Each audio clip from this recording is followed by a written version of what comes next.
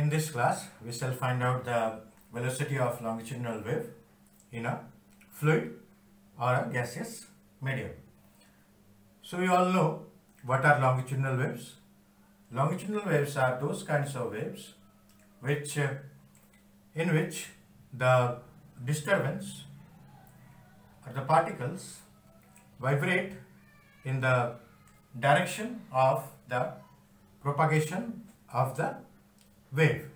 That is, the particles vibrate in a direction parallel to the direction of propagation of the wave. To understand, let us see uh, one of the commonest example of uh, longitudinal waves are the sound waves. Suppose there is a source of sound and it is produced and suppose this is the medium where there are particles suppose it is filled up with some sort of gas and the medium is uh, having some particles of gas then the wave moves like this. It moves in this direction and the particles vibrate to and fro and the wave or the disturbance is carried out in this direction by the variation of pressure.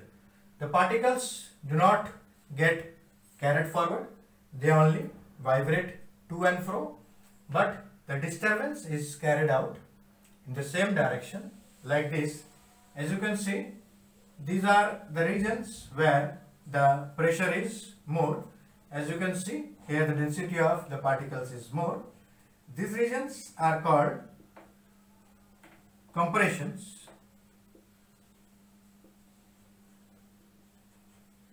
And you can see here the pressure is relatively less and these regions are called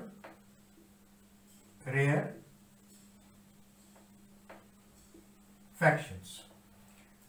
Also, these are compressions and here these are rarefactions. So, there are regions of compression and rarefaction and like this the wave is carried forward in the same direction as the direction of the to and fro motion of the particles of the gaseous medium. Now let us uh, see the try to understand the same thing with the help of this uh, animation. As you can see, these are the longitudinal waves which are moving from left to right. And uh, if I stop this animation here, right here, you can see these are the points or the regions which are having more pressure and these are the regions of less pressure. So these are the regions of compressions and these are the regions of rarefactions. As you can see, the wave is uh, traveling but the medium is not.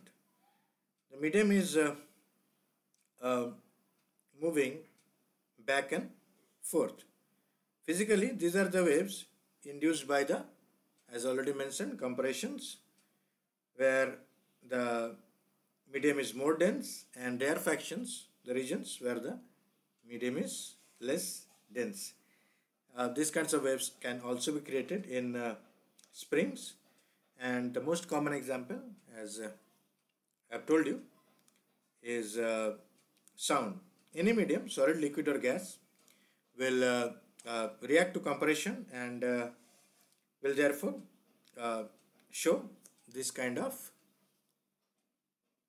wave, this kind of longitudinal wave. So, let us find out the velocity of a longitudinal wave in a fluid. For that, we consider a tube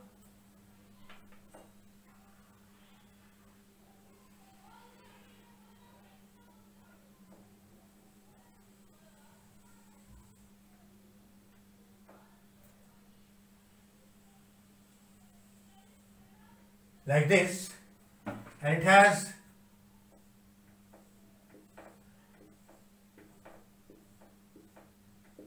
suppose cross sectional area alpha and suppose the x axis is o x and uh, we consider uh, plane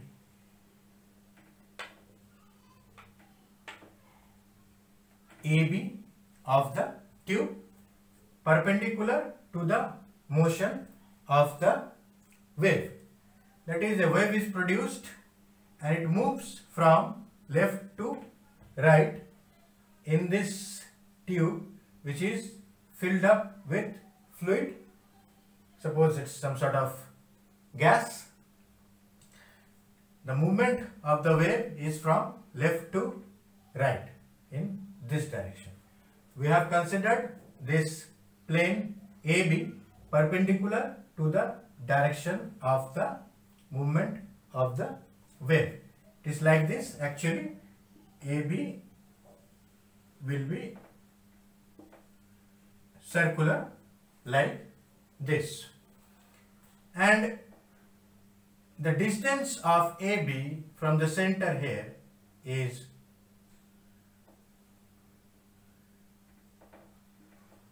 suppose x. We consider another plane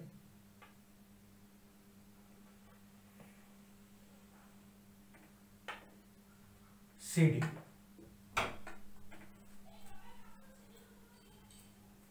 which is at a place having distance x plus delta x from this O. Therefore, the distance between these two planes will be how much? Delta x. Now, due to the movement of the wave, there are pressure variations. Now, due to uh, the variation of pressure as the wave propagates, this uh, plane AB, suppose, moves to A dash, B dash, and the displacement is y. Now this plane CD also moves here to C dash, D dash and this displacement that is the displacement of CD to C dash D dash is not equal to Y but it is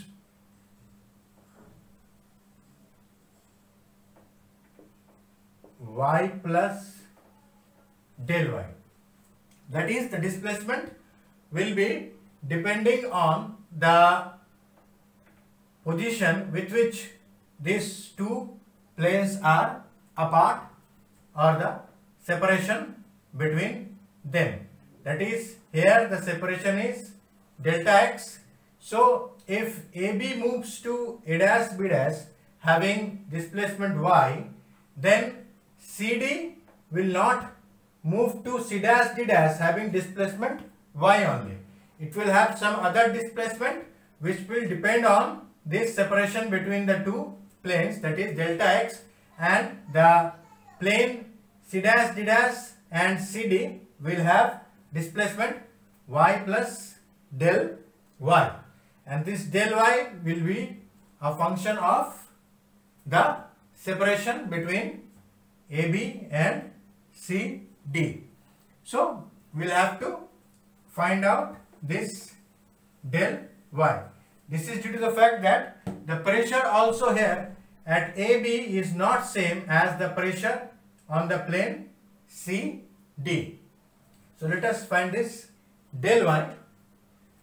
Now the rate of change of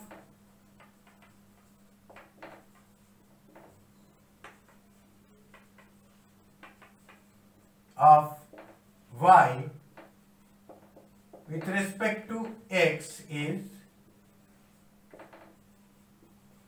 dy by dx. So the change for this separation delta x will be this is equal to delta y that is equal to dy by dx into delta y delta x. Change in y for a separation of delta x will be equal to the rate of change into the separation that is dy by dx into delta x. So here the displacement of CD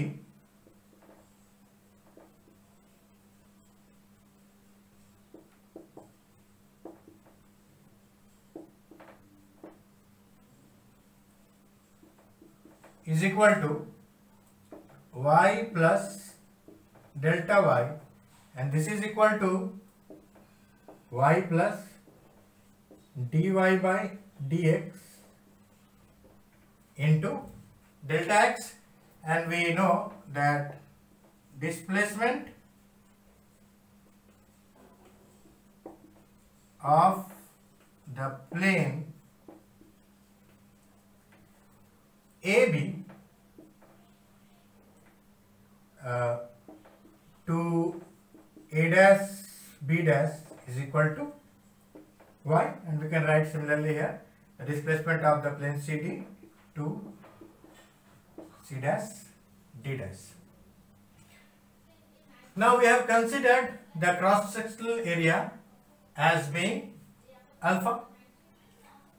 Therefore, the volume enclosed between the planes AB and CD will be how much?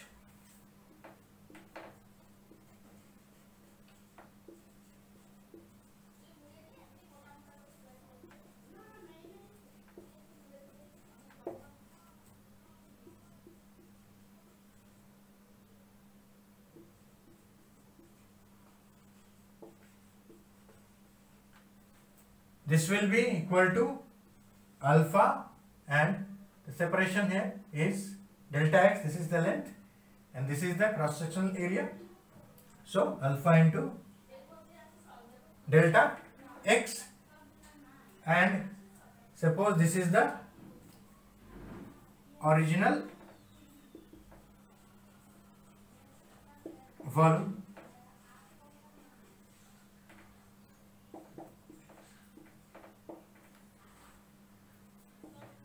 Now, what is the volume between the plane C dash D dash and A dash B dash?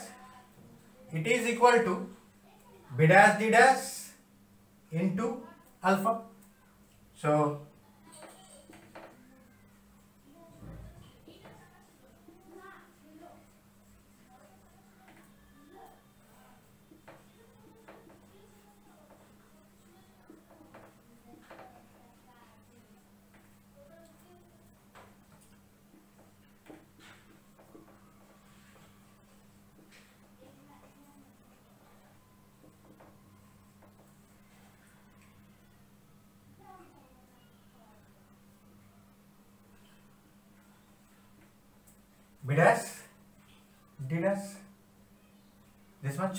into alpha.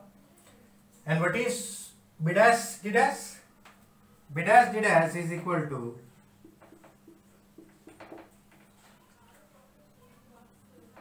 O D dash minus O B dash. And this is equal to what is O D dash this is equal to here x plus del x plus y plus del y x plus del x up to here OD is x plus del x and d d dash is y plus del y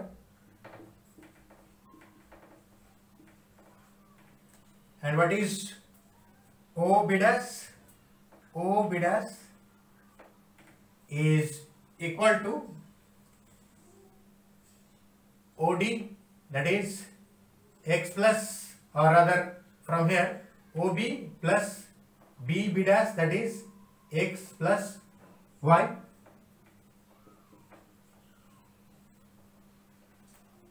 Therefore from here we find this x x cancels out this y y cancels out.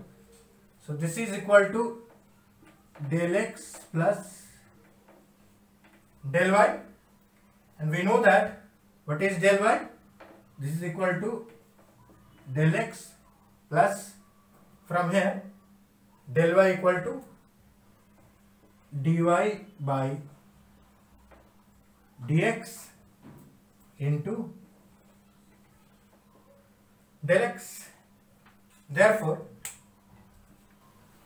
the volume enclosed between b dash d dash is equal to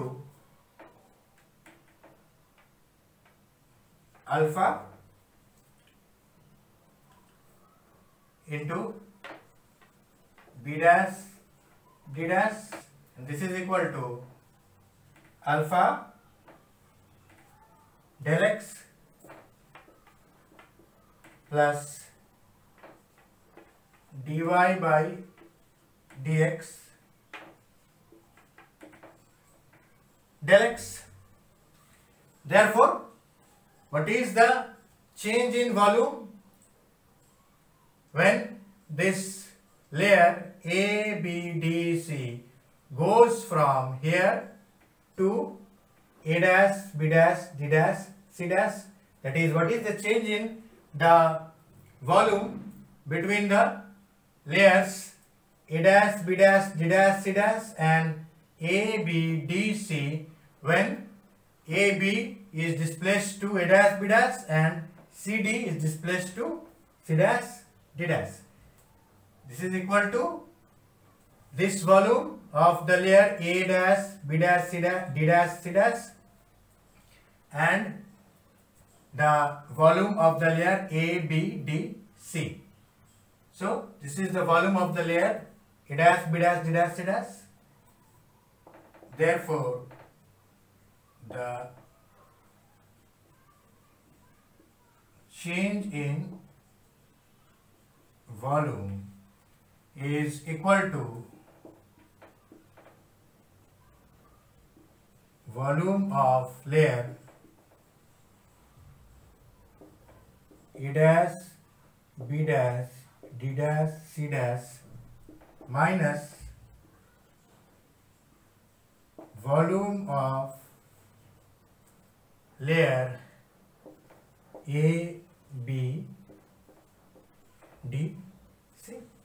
So volume of this one and this one. Alpha del x plus dy by dx. Del x is the volume of layer A dash, B dash, D dash, C dash minus the volume of layer A, B, D, C that is alpha del x. So let us find it out.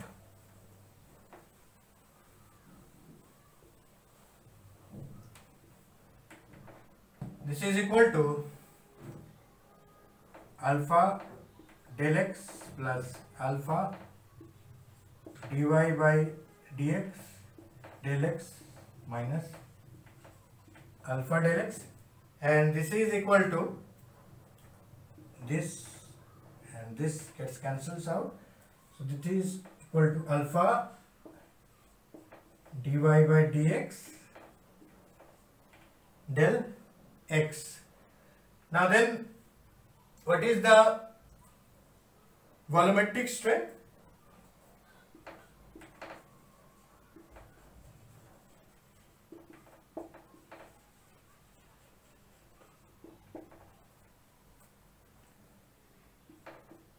this is equal to change in volume.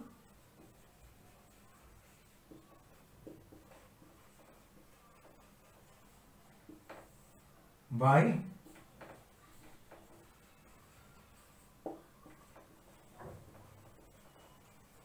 original volume. So, what is the change in volume? This is the change in volume alpha dy by dx del x alpha dy by dx del x and what is the original volume? This is alpha del x and so this is equal to dy by dx.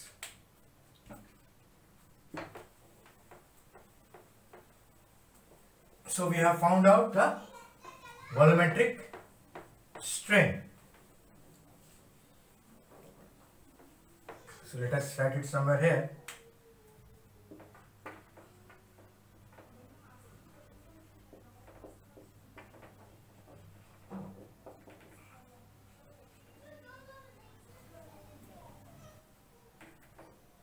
Now, let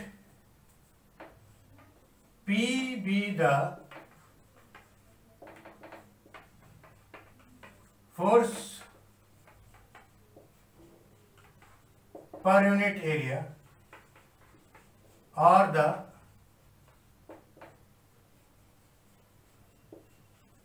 pressure acting on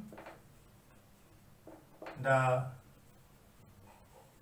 plane A B. On this plane AB, the pressure or the force per unit area is P. Now, the same pressure is not acting on this plane CD. Otherwise, if the same pressure would have been acting on CD, then displacement of CD would have only been y and not y plus del y.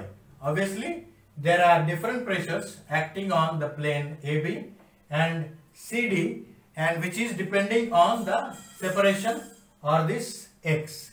It is depending on this x and so if the rate of change of the pressure with respect to x is dp by dx then the change in pressure acting on CD will be dp by dx into del x. So if P be the force per unit area or the pressure acting on the plane AB and if dp by dx is the rate of change of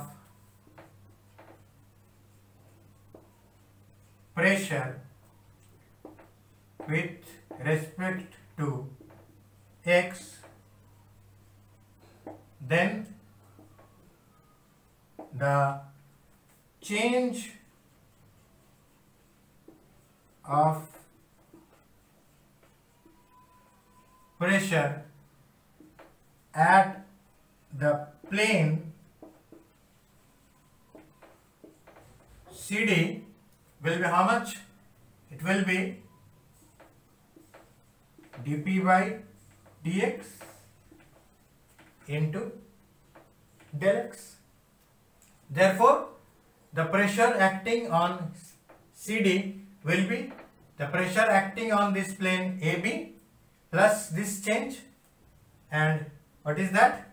Therefore, the pressure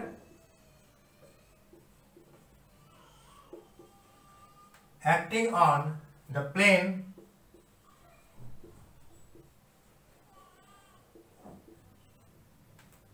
CD is equal to P plus dp by dx into del x.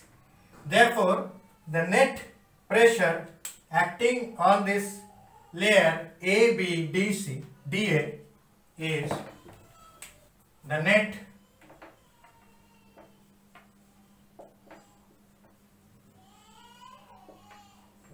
pressure acting on the layer AB DC that is the net pressure acting on the particles contained in this layer AB DC is equal to P plus dP by dx del x minus P and this is equal to dP by dx del x. Let us write it here.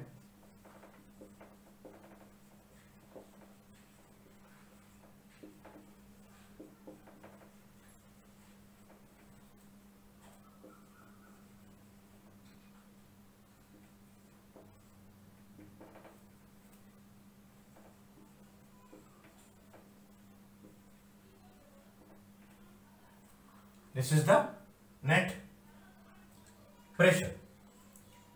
Now, if the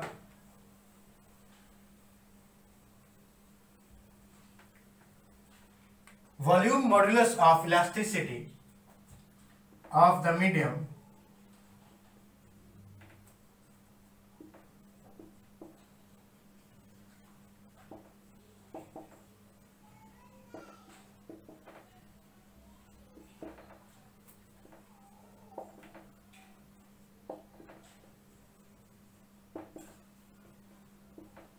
B E and we know that what is the modulus of elasticity?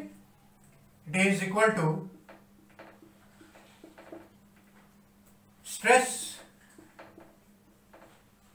or normal pressure per unit area by strain volume strain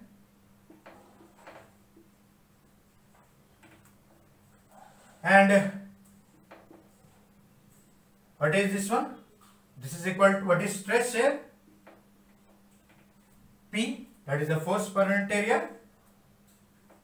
And we have already found out this volumetric strain that is equal to dy by dx.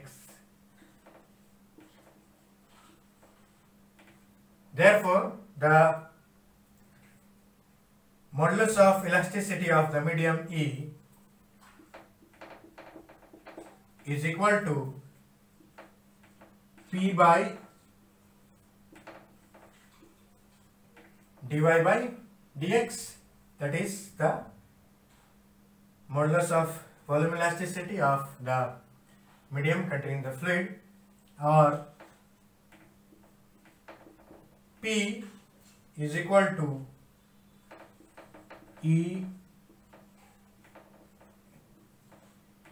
dy by dx.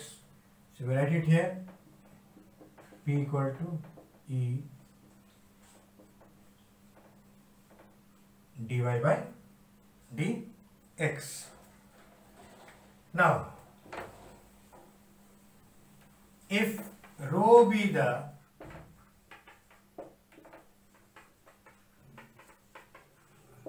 density of the medium or the fluid. And we know that what is density? Density is mass per unit volume. Therefore what will be the mass of this layer A B D C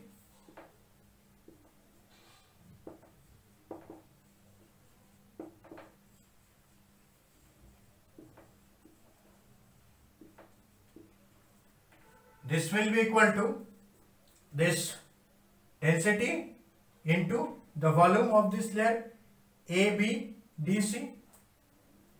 So this is equal to rho into and what is volume? Alpha del x. Therefore, mass of the layer ABDC is rho alpha del x. And what is the acceleration? The acceleration is d2y by dt square. That is the acceleration of the layer is d2y by dt square that is the displacement of AB is y. Therefore, the force on this layer A, B, D, C is equal to rho alpha del x d2y by dt square and from here we have found out the net pressure on this layer is dp by dx del x.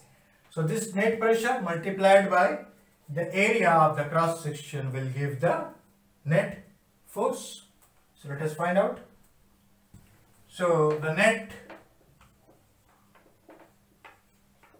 force on the layer is equal to net pressure into area. And what is this? This is equal to dp by dx del x into alpha. So this is our force acting on the layer ABDC due to uh, Newton's second law of motion and this is our calculated force. So this two will be equal. So let us equate it. Uh,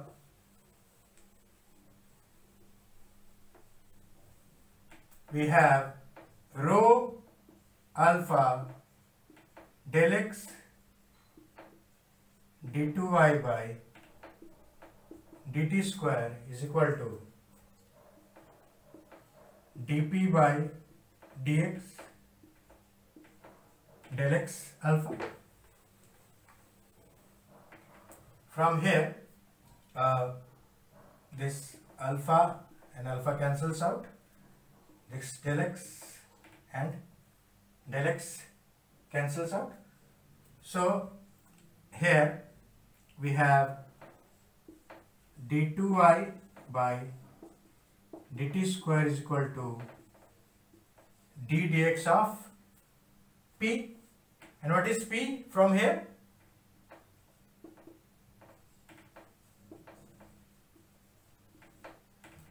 P is equal to e dy by dx or this equation become the equation becomes d2y by dt square is equal to E is constant e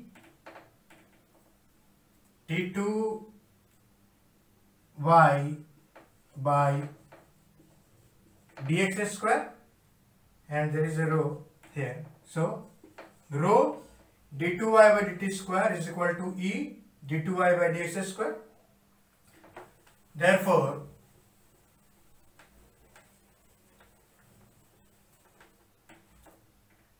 d2y by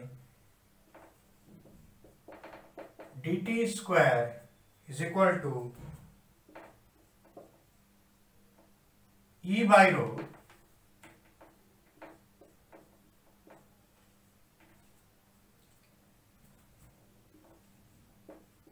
D two y by d. X square. And we know that the general differential equation of a wave progressive wave is given by d two y by dt square is equal to v square d two y by dx square. So comparing these two equations, we find that v square is equal to e by rho and v is equal to under root e by rho and this is the velocity of the longitudinal wave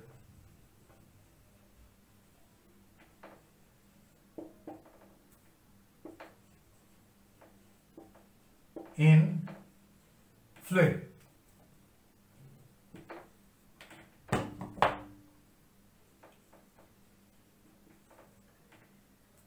Here we find that the velocity depends on the volume, modulus of elasticity of the medium or the fluid and the density of the fluid. That is, it is proportional to the uh, directly proportional to the square root of the modulus of elasticity and inversely proportional to the density of the medium. So, this is how we find the velocity of longitudinal waves in fluid.